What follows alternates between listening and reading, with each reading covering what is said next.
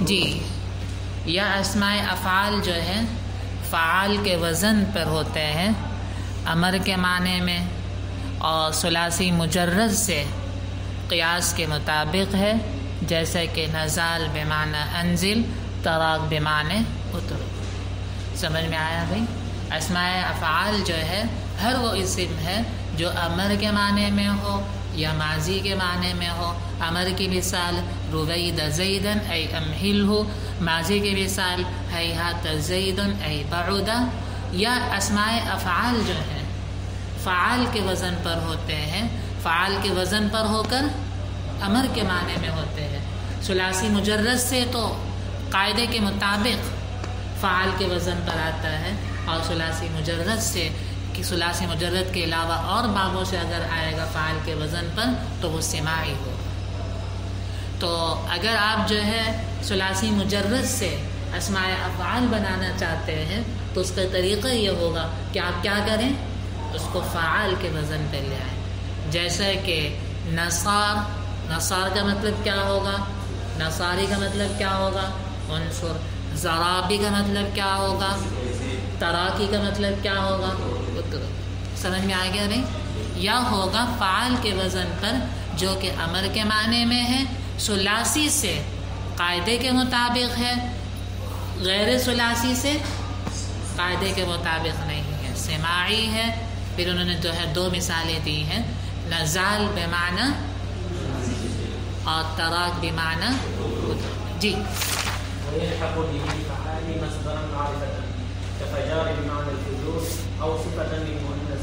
और इसके साथ जो है लाहिक होता है फ़ाल जो कि क्या हो? इस हाल में कि वो क्या हो? मजदर मारिफा के माने में हो, जैसे कि फ़जार बेमानल फजूल। तो बताना ये चाह रहे हैं कि फ़ाल का जो वज़न है, सुलासी से, वो असमाय अफ़ाल के लिए मुख्त है। फ़ाल जो बेमानल अमर है, फ़ाल बेमानल अमर का जो वज़न है, वो किसके लिए है? असमाय अफ़ाल के लिए मुख्त है। इसी तरह और भी फ़ाल हैं जो बेमानल अमर नहीं होते। और भी फ़ाल वज़न है फ़ाल के वज़न पर और भी असमा आते हैं जो जो किस माने में होते हैं? जो अमर के माने में नहीं होते। अगरचे वो असमाय अफ़ाल नहीं है। लेकिन फ़ाल पर फ़ाल के वज़न पर होने की वजह से वो भी क्या है? मबनी। और वो कौन से फ़ाल हैं? नंबर एक, ऐसा फ़ाल जो मजदर मारिफा के माने में हो, जैसे कि फ़जार मजदर मारिफा यानी अल्फजूर के माने में है तो अल्फजूर माने में होने की वजह से ये भी क्या होगा? मबनी होगा। ये अलग बात है, ये असमाय अफ़ाल में नहीं है, लेकिन इनको जो है असमाय अफ़ाल में ज़िक्र किया जाता है।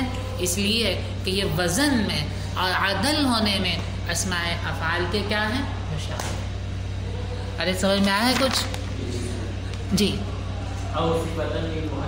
और इसी के साथ, इसी फ़ाल बेमान अमर के साथ लाहिक किया जाता है, ऐसी सिफत को जो कि क्या हो? मुन्नस के लिए हो। जैसे कि फ़साक बेमाना फासिक। फ़साक जो है, फ़ाल के वज़न पर है। फ़ाल के वज़न पर होने के साथ साथ ये अमर के माने में नहीं है, बल्कि क्या है? ऐसी सिफत है जो कि क्या है? मानस है, यानी फसा, फासिका के माने में है। तो ये भी क्या है? मबनी है। और लका लका बेमाना लाकिया। फसा किसे कहते हैं? नाफरमान औरत को। और लका किसे कहते हैं? कमीनी औरत को। आप पढ़ेंगे रुका लुका। लका किसे कहते हैं? जलील औरत को, कमीनी औरत को। जी। और इसी के साथ जो है लाहिक किया जाता है ऐसे आलम को जो कि क्या हो? मुअन्नस चीज़ का हो। इसी के साथ लाहिक किया जाता है मुअन्नस चीज़ों के असमाय मुअन्नस चीज़ों के आलम को। जैसे कि क़ताम, गलाब, हज़ार। क़ताम और गलाब जो है ये क्या है? औरतों के नाम है। जी। क़तम फ़ाल के वज़न पर है। फ़ाल के वज़न पर होने के साथ साथ बेमानल अमर नहीं है, बल्कि क्या है? मुअन्नस चीज़ों के नाम है। तो मुअन्नस चीज़ों के आलम होने की वजह से ये भी क्या होगा? जी।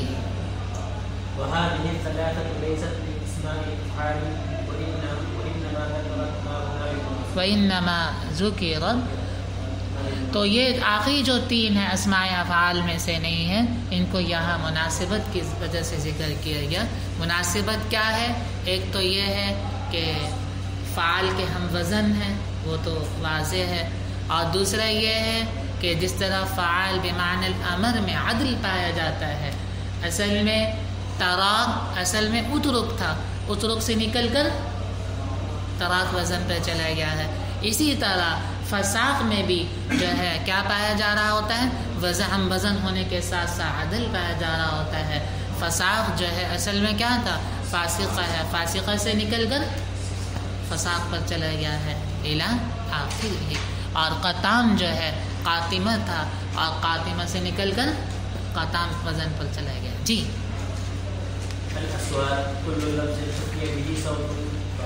समझ में आ गया भाई? तो यहाँ जो है, ये फ़ाल, ये जो फजार है, फसाक है लका है क़ताम गलाब, हज़ार, ये सब के सब क्या है? असमाय अफ़ाल में से नहीं है। यानी ऐसा फ़ाल जो मजदर मारिफा के माने में हो, या ऐसा फ़ाल जो मुअन्नस सिफत हो, या ऐसा फ़ाल जो मुअन्नस चीज़ों का आलम हो तो वो असमाय अफ़ाल तो नहीं होते। लेकिन उनको असमाय अफ़ाल में ज़िक्र कर दिया जाता है।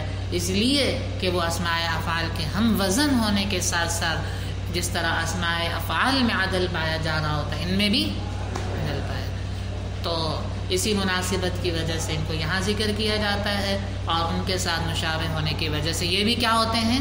मबनी समझ में आया भाई? जी।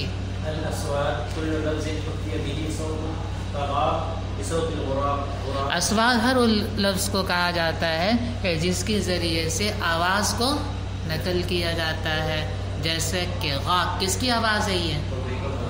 अरबों के यहाँ अरब कव्वा जो बोलता है तो अरब समझते हैं कि गाक खाक क्या है। और हम समझते हैं कि क्या कर रहा है?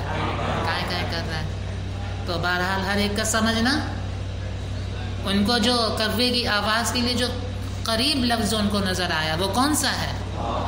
और हमें जो करीबी लफ्ज़ नज़र आए, क्योंकि वो काहे काहे तो कह नहीं सकते ना अरब लोग। और उनको जो समझ में आ रहा, ज़ाहिर सी बात कब्बे की आवाज़ को कोई निकाल नहीं सकता। निकाल सकता है कव्वे की आवाज़? निकाल भी लेते हैं, माशाल्लाह, माहिर भी होते हैं। लेकिन हर एक निकाल नहीं सकता तो उसके लिए क्या है? उसकी आवाज़ को नकल करने के लिए अरबों के यहाँ जो करीबी लफ्ज़ है, वो क्या है? वाक है। और हमारे यहाँ? जी। या एक तो वो है, अस्वाद हर वो लफ्ज़ है कि जिसके ज़रिए से किसी की आवाज़ को नकल किया गया हो, या उसके ज़रिए से जानवर को आवाज़ दी गई हो। जैसा कि नख ऊँट को बिठाने के लिए। जब ऊँट को बिठाया जाता है तो क्या कहा जाता है?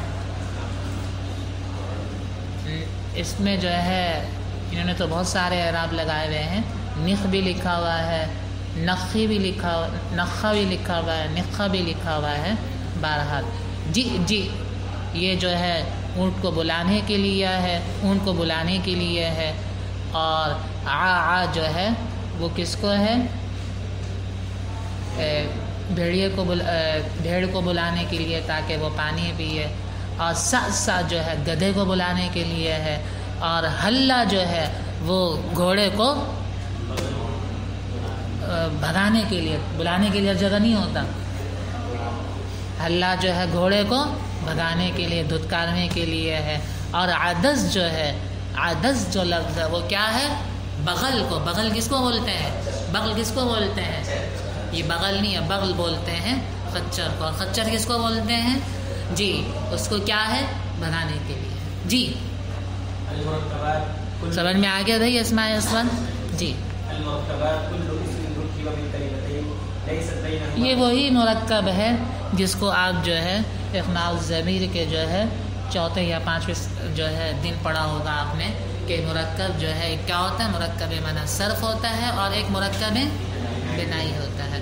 तो इन मुसनफ़ रहीम को मालूम है कि आप ये अच्छी तरह पढ़ चुके हैं, इसलिए इन दोनों को एक साथ ही ज़िक्र कर दिया। जैसे कि आपने इल्मसीगा में देखा होगा कि आपने जो में कवायद अलग अलग करके पढ़े हैं। मुसनफ़ ने एक ही कायदे के अंदर तीन कायदों को लपेट लिया होता है या कम से कम दो कायदों को क्या कर लेते हैं? लपेट लेते हैं। तो इसी तरह, इसलिए कि उनको पता है कि आप लोग पढ़े लिखे हैं। पहले से आप लोगों को अंदाज़ा है, पहले से आप लोगों को पता है। तो एक ऐसा ही कायदा बना लेते हैं, जिसमें क्या आ जाए तीन चार? जी।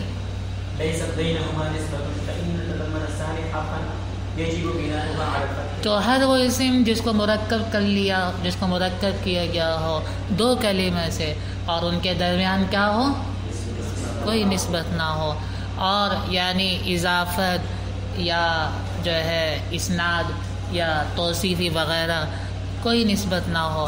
फ़ैन तज़म्मनसानी हरफन, अगर दूसरा हर्फ जो है, अगर दूसरा कलीमा जो है, हर्फ को मुतज़मिन हो तो हर्फ को मुतज़मिन होने का मतलब क्या है?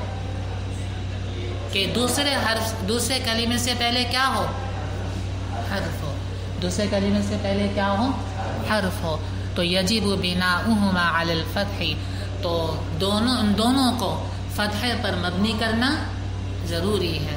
तो उन दोनों का फ़तह पर मबनी होना ज़रूरी होगा।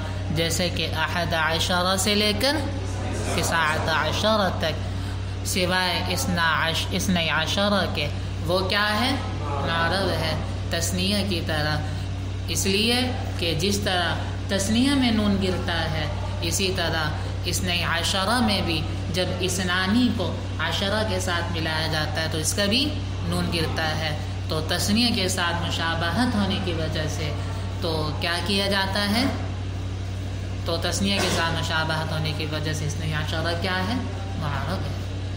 और अगर मुतज़मिन ना हो, व इलम यतज़मन जालिक, अगर उसको मुतज़मिन ना हो, किसको?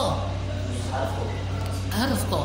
फ़फ़ीहा सलासुलगात तो उसमें कितनी लगतें हैं? तीन लगतें हैं। और सबसे ज़्यादा जो फसी है, वो क्या है? बिना अव्वली अलफ़ी पहला जो है, वो फ़तह पर मबनी होगा। और वह एराबसानी एराब और दूसरे कलीमे का एराब क्या होगा? गैर मुनसरफ का। जैसा कि बाल लबक्का तो बाल बक्का बाल बाल जो है, एक लफ्ज़ है और बक्का, दूसरा कलीमा है। इन दोनों कलीमों को एक कर लिया गया है। एक करने के साथ साथ जो है, दूसरा जो कलीमा है, वो हर्फ को मुतजमिन नहीं है, हर्फ को शामिल नहीं है। यानी उससे पहले कोई हर्फ आतफ वगैरह उससे पहले कोई वाव जैसा उससे पहले कोई हर्फ उससे पहले क्या है कोई हर्फ नहीं है। हर्फ ना होने की वजह से जो है ए, क्या होगा? पहला जो है फसीह लगत के मुताबिक पहला जो होगा यानी बाला पहला क्या है? बाला है। बाला तो फतह पर मबनी होगा लेकिन बक्का जो है वो क्या होगा? उसको जो एराब वो मरब होगा। और मरब होने के साथ साथ मरब की कौन सी किस्म होगा? बहरहाल जो भी किस्म है, और वो कौन सी किस्म है? गैर मुनसरफ। तो उसको कौन सा एराब दिया जाएगा? गैर मुनसरफ वाला एराब दिया जाएगा। जैसे कि बाला बक्का। जानी बाल बक्को राई तो मरल तो तो बाल जो है, ये बुद्ध का नाम है, और बक्का जो है उस बादशाह का नाम है कि जिसने क्या किया था? एक शहर बसाया था और शहर को बसाने के बाद उसने उसका नाम क्या रखा? बुद्ध और अपने नाम के साथ उसका नाम बाल का रखा। तो बाल का एक शहर का नाम है। इसी तरह हजरा मौत तो हजरा मौत तो हजरा एक कलीमा है, मौत दूसरा कलीमा है। तो इन दोनों को एक कर लिया गया है। तो मौत जो होगा वो क्या होगा? मरब होगा। मरब होने के साथ साथ गैर मुनसरफ होगा। इसी तरह इस्लामाबाद और न्यूयॉर्क जो होता है, ये भी क्या होगा? न्यूयॉर्क और इस्लामाबाद, हैदराबाद, ये सब के सब क्या हैं? मुरक्कब है। और ऐसे मुरक्कब हैं कि जो दूसरा कलीमा है, उससे पहले कोई हर्फ नहीं है। इसलिए आप जो है इस्लामाबाद में मीम पर तो आप क्या पढ़ेंगे? ज़बर पढ़ेंगे और जो है आखिरी जो लफ्ज़ है उसको क्या करेंगे? इस किताब के मुताबिक इस किताब के मुताबिक जो सही लगत है फसी लगत है आखिर को आप क्या पढ़ेंगे? एराब देंगे। हाजा इस्लामाबाद हाजा इस्लाम आबाद आ, आ तो नहीं हाजा इस्लामाबाद या हाजी ही इस्लाम इस्लामाबाद राई तो इस्लाम आबाद मरर तो बस कर लें भाई। जी। अब न्यू जो है, नहीं, हम तो उसको पता थोड़ी देंगे। न्यू यूरोप में हम जो है पता थोड़ी देंगे, न्यू यूरोप को भी पढ़ेंगे। पहला मबनी पर फतह अब क्या करें? तो हर जगह जो है, हर जगह कुछ ना कुछ खिलाफ कयास भी तो होता है ना।